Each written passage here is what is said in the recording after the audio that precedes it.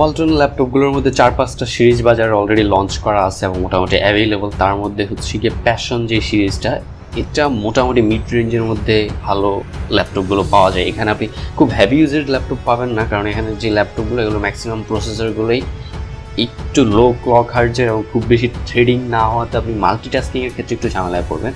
কিন্তু আমি স্টোরেজের ব্যাপারে বা হচ্ছে গিয়ে র্যামের ক্ষেত্রে র্যাম অপটিমাইজেশন এগুলো মোটামুটি ভালোই পাবো এবং এটা ইন্টেল কোরাই ফাইভ এবং এইট জেনারেশনের সো এটা একটা স্পেশাল বেনিফিট আপনি একেবারে ল্যাটেস্ট টেকনোলজির প্রসেসর পাবেন, কিন্তু প্যাকিংসটা একটু সমস্যা হয়ে যাবে ওয়ান পয়েন্ট সিক্স গিগা হার্জের সো ওয়ান পয়েন্ট সিক্স গিগা হার্জের মাল্টিটাস্কিংয়ের ক্ষেত্রে একটু সমস্যা করতে পারেন। যদিও কোরাই ফাইভ হওয়ার কারণে যথেষ্ট আপনি মাল্টিটাস্কিং করতে পারবেন।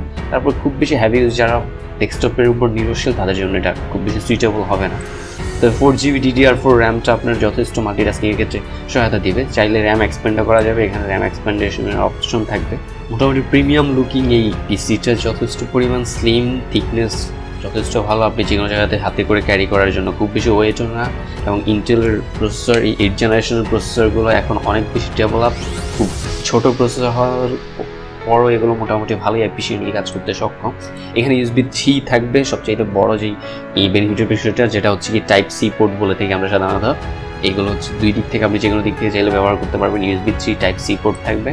দেন বিজে এইচডিএমআই আউটপুট দুইটাই আছে প্লাস হচ্ছে ইউএসবি টু ইউএসবি থ্রি পোর্টও থাকবে। এই যে ল্যাপটপগুলো মিড রেঞ্জের ল্যাপটপের মধ্যে একটা জিনিস একটু মিসিং দেখা যায়, সেটা হচ্ছে কি হেডফোন জ্যাক যেটা, ওটাই অনেক বেশি ভার্সেটাইল ওটার মধ্যে আপনার ইয়ারফোন জ্যাক দেন হচ্ছে কি আপনার মাইক্রোফোন ইন করার জন্য একটা পোর্টই থাকে। কিন্তু এই ল্যাপটপটাতে সাধারণত আপনি দুইটা পোর্ট পাবেন, কেউ যদি আলাদা করে মাইক্রোফোন ইউজ করতে চান বিভিন্ন ধরনের পোডকাস্টের জন্য, তাদের জন্য এটা অনেক বেশি বেটার হবে।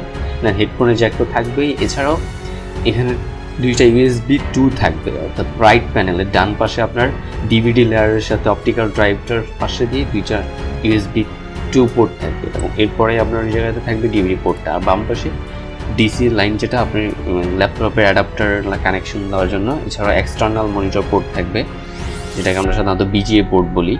দেন হচ্ছে ল্যান্ড পোর্ট থাকবে লোকাল এরিয়া নেটওয়ার্কের জন্য বা আর জে ফি ফর্টি ফাইভ কেবলগুলো ইন করার জন্য। আমরা ব্রডব্যান্ড ইউজের জন্য যেটা ব্যবহার করি।